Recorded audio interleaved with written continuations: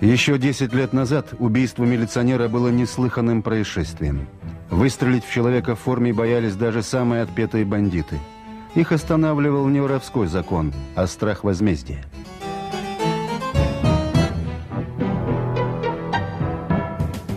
Но с начала 90-х ситуация круто изменилась. Страну захлестнула волна преступности.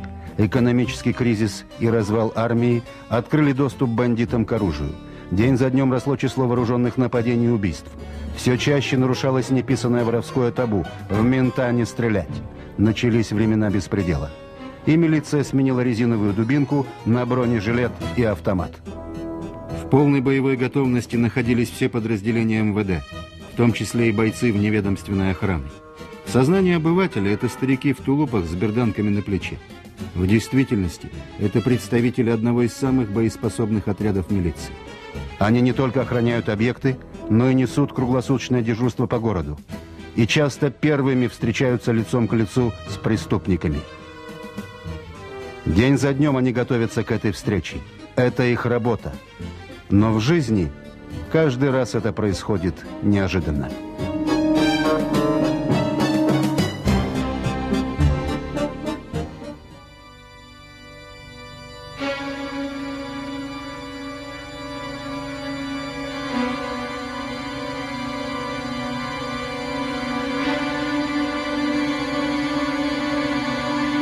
Один из участников тех событий – старший сержант Новодержский – он иногда приезжает в этот двор и вспоминает тот день шаг за шагом, секунду за секундой.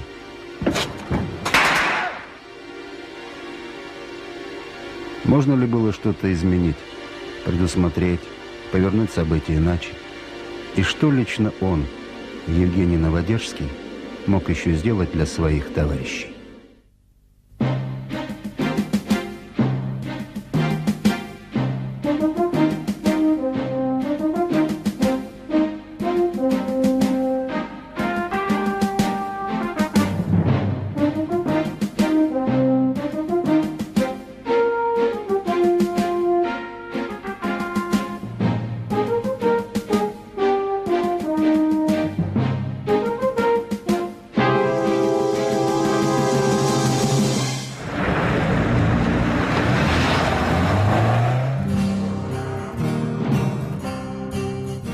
День, 31 июля 97 года, светило яркое солнце.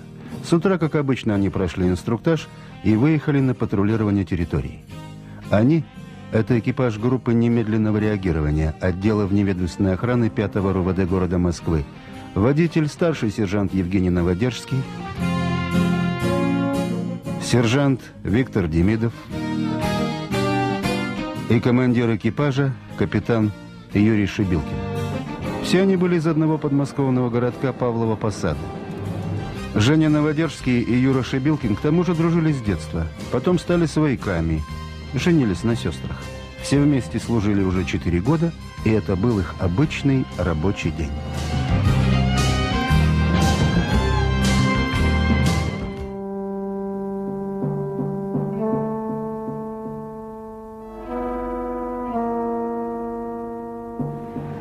Примерно в 11 часов напротив дома номер 38 на Гончарной улице остановился микроавтобус УАЗ. На углу соседнего переулка встала темная иномарка. В это время из расположенного в том же доме офиса фирмы «Орбитал» вышел ее совладелец, гражданин Индии, и почему-то сразу обратил внимание на стоящую в переулке машину и сидящих в ней пассажиров. Через несколько минут двое сидевших в машине прошли мимо дверей его фирмы. Спустя некоторое время из УАЗа этим людям подали полиэтиленовые пакеты. Индус не знал, что находится в пакетах, но, почувствовав неладное, решил подождать в своей машине развития событий. Через пять минут в подъезд фирмы «Орбитал» вошли трое из этих людей, за ними еще двое – Встревоженный индус из ближайшего телефона автомата позвонил в офис.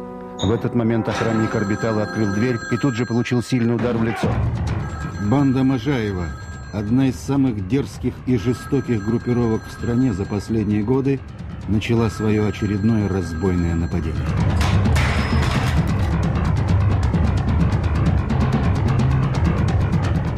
Испуганный коммерсант набрал 02 и, с трудом подбирая русские слова, сказал, что их, кажется, грабят. Адрес – Гончарная, 38, 6 подъезд. Он так и сказал, кажется, грабят. После чего спешно уехал. Через несколько секунд экипаж капитана Шебилкина получил сигнал тревоги. Улица Гончарная, 38. Ты записала? Записал, записал. Гончарная, 38. В тот момент они были на Воронцовской улице.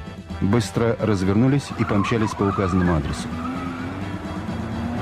Как казалось тогда, это был обычный вызов. Чаще всего тревога оказывается ложной. Ошибочно сработала сигнализация или кому-то что-то показалось. Но в этот раз ошибки не было. На счету банды Юрия Можаева уже были десятки подобных нападений. И всякий раз они действовали по одним и тем же правилам – идти до конца, не останавливаясь ни перед чем. При малейшей опасности немедленно применять оружие и по возможности не оставлять свидетелей. Но никто из членов экипажа в тот момент об этом еще не знал. Через две минуты после получения сигнала экипаж прибыл на место. Там уже стояла машина, расположенная поблизости 37-го отделения милиции. Осмотрелись. Тихий двор. Старички греются на солнце. Мамаши гуляют с колясками. Обычная мирная жизнь. Как все это изменится через каких-нибудь пять минут? Капитан Шебилкин, как старший по званию, приказал Демидову и двум сержантам из 37-го отделения, Никитину и Хохлачеву, спуститься в подвал, а Новодержскому обойти дом вокруг и проверить возможные пути отхода бандитов. Если, конечно, они есть, эти бандиты, мысленно добавил тогда Новодежский. Во дворе остались водитель из 37-го Мамедов и сидящая в машине дознаватель Галина Яковенко. Никитин, Хохлачев и Демидов спустились в подвал. Дверь в фирму была заперта. Услышав стук, бандиты на секунду замешкались. После чего кинулись к запасному выходу, ведущему в подъезд с другой стороны дома. Если бы он не был заперт, бандиты выскочили бы в подъезд, а дальше прямо на Новодержского. Но запасной выход был заперт, дверь в подъезд закрыта кодовым замком, и их встреча в тот момент не состоялась.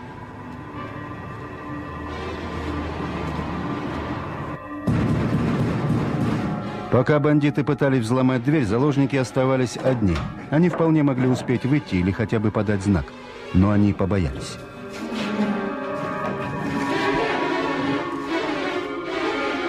А здесь за дверью ничего слышно не было.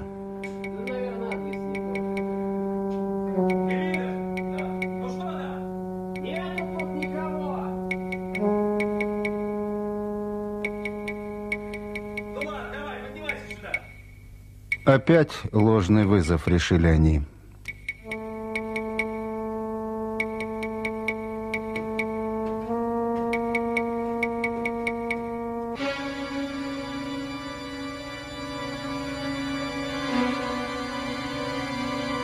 Новодержский хорошо запомнил удивленные лица ребят в тот момент.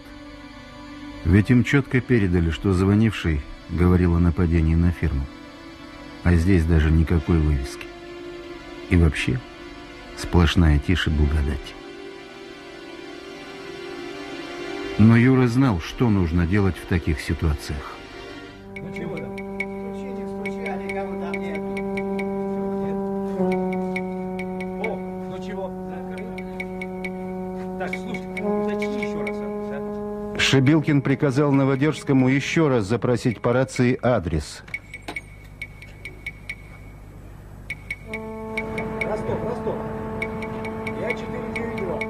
А уточнить у жильцов дома, где находится фирма «Орбитал». Все подтвердилось. Гончарная, 38. Вот здесь, говорит. Так, Шибилкин принял решение еще раз спуститься в подвал. Он снова послал Новодержского обойти здание. Так полагалось по инструкции, так подсказывал опыт. И он пошел. Бандиты решили, что опасность миновала, и продолжали подтаскивать к двери награбленное. Никитин прислушался, вроде тихо. От неожиданности один из налетчиков выронил коробку. Это услышали за дверью. Теперь сомнений не было. Внутри кто-то есть. Откройте, не глупите! Милиция! На требование открыть дверь Можаев наконец подал голос. У бандитов, как всегда, был готов четкий план отхода. Выставить перед собой заложников и прорываться за их спинами. Они выстроили сотрудника фирмы у самых дверей и приготовили оружие. Открывайте! Наконец Можаев отодвинул задвижку.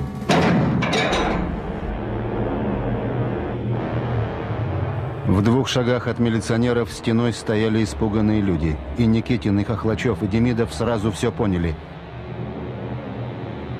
Никитин предупредил. Не делайте резких движений и не глупите. Стоящие впереди заложники начали оседать на пол. Бандитам ничего не оставалось, как сдаться.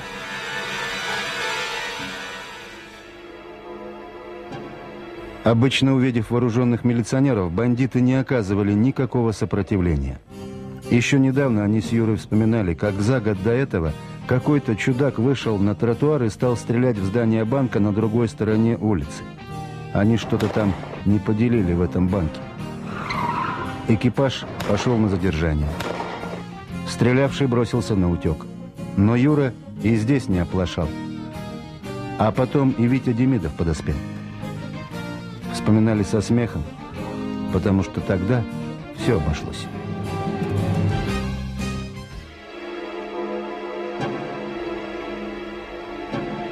Но на этот раз все было по-другому.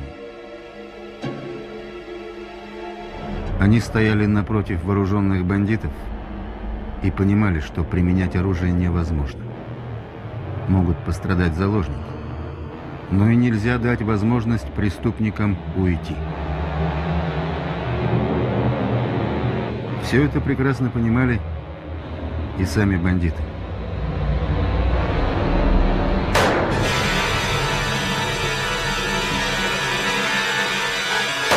Первым же выстрелом убит сержант Никитин. Хохлачев ранен в руку, но, отстреливаясь, побежал вверх по лестнице. Услышав выстрелы, Новодежский выскочил из-за угла и увидел, как Шебилкин вытолкнул из подвала раненого Хохлачева, дал очередь и захлопнул дверь. У Хохлачева болевой шок. И Новодежский, отправив его за угол дома, развернулся к двери. Краем глаза он видел, как Мамедов вызвал по рации помощь. Она прибудет через несколько минут, но это будет уже поздно. А в это время внизу Демидов пытался вступить в бой. Но на него навалился полумертвый от страха заложник. Виктор оттащил его вглубь коридора. Потом увидел, как бандиты взяли у Никитина автомат. Теперь нужно было действовать с предельной осторожностью. И стрелять нельзя. Бандиты снова прикрылись заложниками. Они поднялись к двери и попытались ее открыть. Евгений держал под прицелом дверь, прижатую Шабилкиным. Тот не мог отойти. Вокруг было много людей, и пули бандитов могли зацепить их. Уходите! Уходите отсюда! Юрий дал людям время уйти. А бандиты подтащили к двери заложника. Он кричал и просил выпустить. Шебилкин приоткрыл дверь. Можаев тут же просунул в нее автомат и открыл прицельный огонь по стоящей во дворе машины 37-го отделения. Сидевшая в ней дознаватель Галина Яковенко получила тяжелые ранения. Мамедов укрылся за машиной. В следующей очереди бандиты дали по двору, пытаясь нейтрализовать других милиционеров, которые там могли находиться. Шибилкин развернулся, выстрелил, и автомат замолчал. Евгений взял дверь под прицел и дал знак. «Отходи, я прикрою». Это мгновение он не забудет никогда, потому что именно его хватило раненому бандиту, чтобы вырвать из щели автомат и дать очередь до того, как Юра отойдет от двери.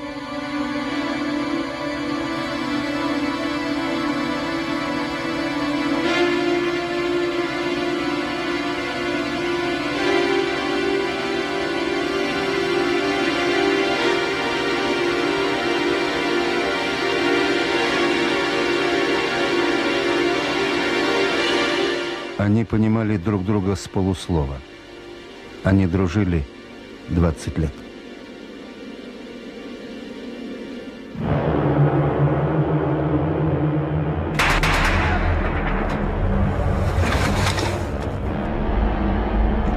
Дверь открылась, и бандиты выскочили на улицу.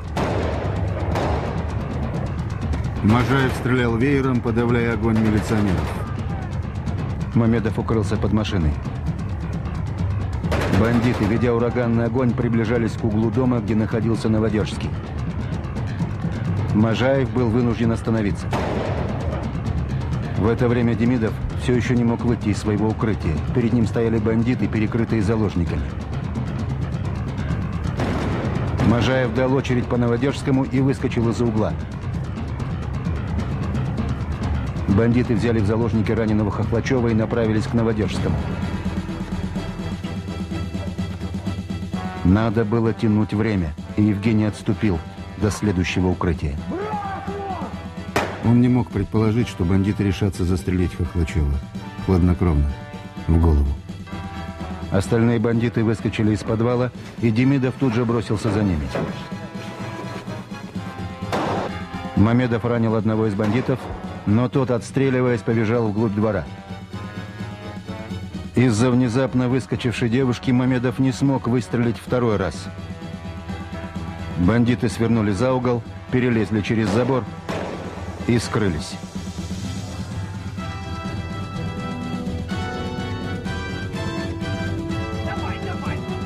Выскочивший из подвала Демидов погнался за другим бандитом. Но тот сбежал по лестнице, и Демидов потерял его из виду. Никто из прохожих не обратил внимания на свернувшего в арку человека, и преступнику удалось скрыться.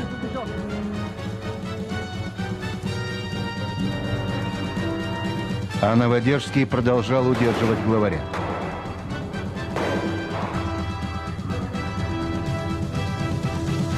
К дому от 37-го отделения уже бежала подмога. Сержант Пономарев сходу вступил в бой. Перестрелке пуля Новодержского попала в автомат Можаева и заклинила его. Второй бандит отстреливался из пистолета. Но милиционеры оказались точнее.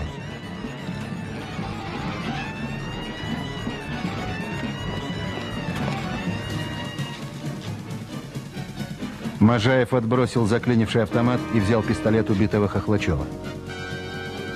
Но не смог взвести затвор простреленной рукой и бросился бежать.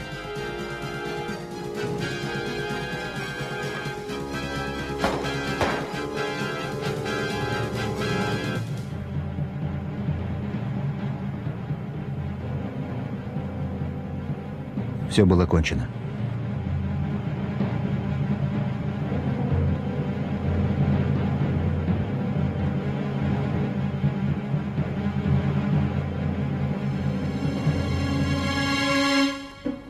У дверей подвала лежал тяжело раненый Юра Шибилкин. В тот момент никто еще не представлял, сколько жизней он спас в этот день. Пока Демидов вызывал по рации скорую, Женя пытался остановить кровь.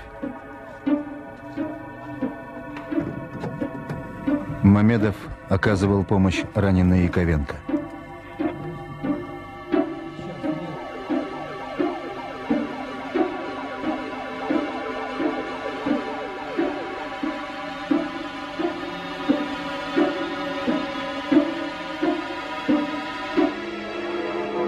А Можаев в переулке остановил машину, сказал, что на него совершено бандитское нападение и попросил отвезти домой. Его отвезли и даже оказали первую медицинскую помощь. Водитель не знал, кто перед ним, И что натворил этот симпатичный молодой человек?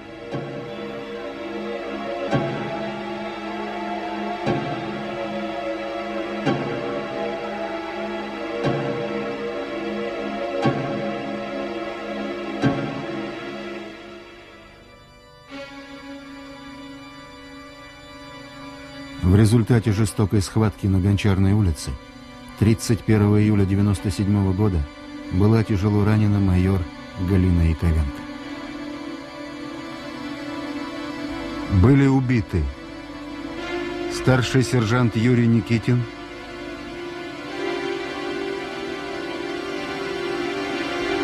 младший сержант Александр Хохлачев.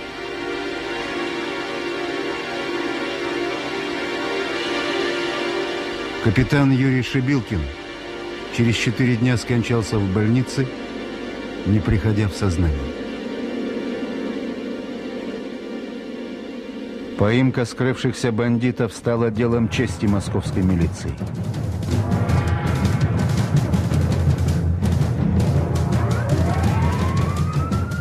Были задействованы лучшие силы.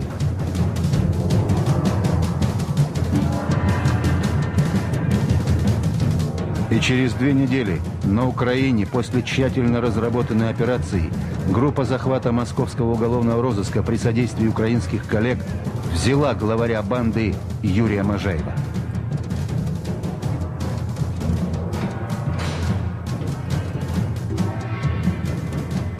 Девятнадцатого августа 97 года в Москве он дал первые показания следствию.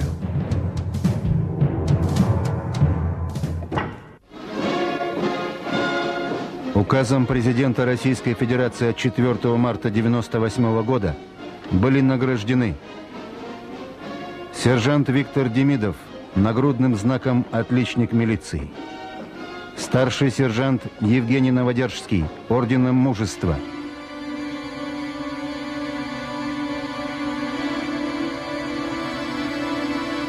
старший сержант Юрий Никитин,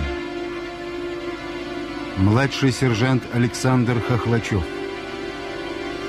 капитан Юрий Шибилкин орденами мужества посмертно.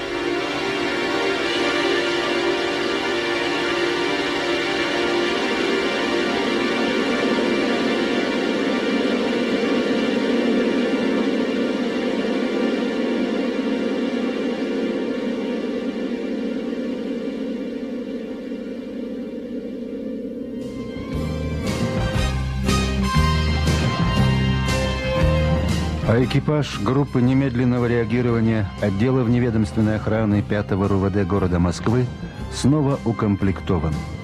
У Евгения Новодержского и Виктора Демидова новый командир. Они опять несут патрульную службу. Изо дня в день. Это их